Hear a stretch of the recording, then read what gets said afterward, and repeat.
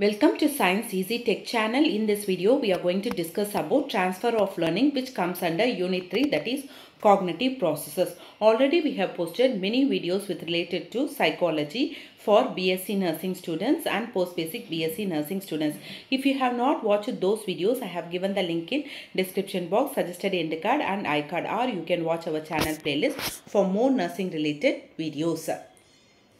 Before moving on to the topic, if you are new to Science Easy Tech channel, just take a moment to subscribe our channel and also to press the notification bell icon in order to get connected with our latest updates. Let's move on to the content, what we are going to see in this video. Transfer of learning. Under transfer of learning, we are going to see only definition, types and factors influencing transfer of learning okay and factors influencing transfer of learning so transfer of learning so transfer of learning or training is a process by which learning or training in one situation is carried over or transferred to other situation. So one learning will be helping in learning of other thing. The knowledge what you have obtained from biology in your uh, 10th plus 2 everything will help you to focus. The same knowledge is going to help you to learn in nursing okay so in this way the learning in one situation is going to help the learning in other situation. That is called as what? Transfer of learning. Example the learning of addition and subtraction helps a child in learning multiplication and division. So what is uh, multiplication is? Repeated addition. Okay what is uh, division? Division is repeated subtraction. Okay so learning of mathematics helps in solving the numerical problems in physics. The mathematics knowledge physics also you have some problems no? So that you can solve by means of the knowledge what you have gained in mathematics. And simple thing with related to nursing also i have given the learning of biology helps in learning of nursing science. Moving on to the definition of transfer. Transfer refers to the transfer of knowledge training and habits acquired in one situation to other another situation so the learning the transfer everything what you have learned in one situation will be helping or transfer to other situation so the carryover of the habits of thinking feeling or working of knowledge or of skills from one learning area to another is usually referred to as the transfer of learning. The skills from one learning area to another learning area which is usually referred to as transfer of learning. This definition was given by Crow and Crow in the year 1973 whereas the first definition with regard to transfer which was given by Sorensen 1948. So moving on to the types of transfer of learning, there is no guarantee that learning in one situation will be always helping you to learn in other situation. It may not be the so, it may not be the same as uh, you can tell that one situation learning will be helping in other situation learning. It may or it may not help. So having learned to pronounce but correctly you cannot expect the uh, child will also pronounce put correctly. The child can pronounce but easily but the child may have difficulty in pronouncing put. Okay? So transfer is said to be in the following three forms. Either it can be positive transfer negative transfer or zero transfer so let's see one by one. Positive transfer. Transfer is said to be positive when something previously learned habits, performance or learning in a new situation. Example, if one has learned to play tennis, it is easy for them to play badminton because more or less it is same. Okay, so when you are uh, we having a learning or training in uh, playing tennis, you can easily play badminton also. So this is what learning in one situation will be facilitating learning in other situation that is called as positive transfer. Negative transfer, when something previously learned hinders performance or learning in a new situation, we call it negative transfer. For example, in India, we find that the pronunciation of English words varies from region to region.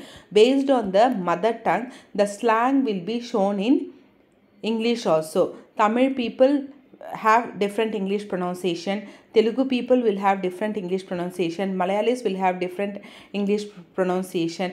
Um, Marathians will have different English pronunciation. Gujaratis will have different in English pronunciation. So there uh, they will have some sort of uh, mother tongue slang in that English pronunciation. So this is what is called as negative transfer. Zero transfer in case the previous learning makes no difference at all to the performance of learning in a new situation that is called as zero transfer. Example, learning history may neither help nor hinder the learning of economics. Learning history and learning economics are different two extremes.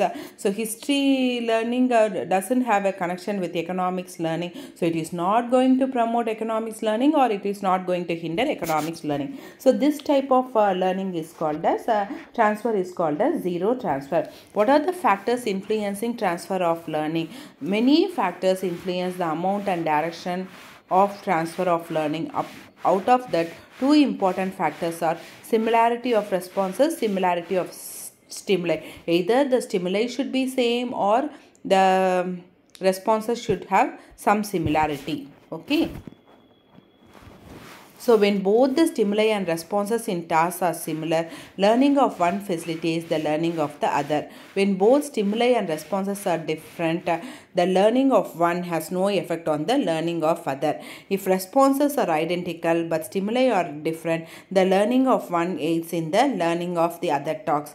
Uh, maximum negative transfer is observed when the stimuli are the same but the responses are different. So either the stimuli should be same and the responses should be same. Then learning will be taking place or when both stimuli and responses are different the learning will be having no effect okay? That is zero transfer.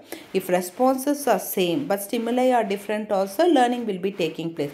Either stimuli should be same or response should be same. So learning will be taking place.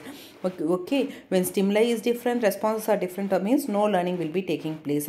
So maximum negative transfer when it is observed when the stimuli are same but the responses are different some other factors which are going to affect your learning process or degree of transfer is broadly related to the degree of intelligence. If you are too much intelligence, if you are going to have very good skill, knowledge, okay, then uh, the transfer will be taking place very fast. So you will be applying some principles what you have learned earlier in a new situation. Next is formation of attitudes and ideals help one to transfer the knowledge and the skill from one situation to another. So formation of attitudes and ideas help one to transfer the knowledge and skill uh, what he has learned from one situation to another based on his attitude based on his ideals okay it helps in transfer. Next proper study habits has to be developed by the students so that uh, in various situations they can apply the knowledge what they have learned earlier.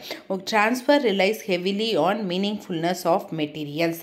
So your transfer aptitude test and all i have told no proper study habits to be developed. Aptitude test and all you have to apply the various skills what you have learned integrated learning. Okay so you have to put all your knowledge when you are solving those type of questions Next, transfer relies heavily on meaningfulness of material. So, you have to find the meaning out of the material what they have given. Methods of teaching student-centered method of teaching will help the to know the relationship between things. So, the student-centered teaching helps in facilitating the relationship between the various materials or things what has been given. So these are all the various factors which helps in what uh, transfer of learning or which facilitates transfer of learning. Next video will be based on theories of transfer of learning. Hope this video has given a uh, short and uh, clear uh, description about transfer of learning. If you like my video, please give a thumbs up, share and subscribe to Science Easy Tech channel. My previous videos link I have given in description box, suggested end card and iCard or you can watch our channel playlist for more nursing related videos. Thank you friends. Keep supporting to Science Easy Tech channel.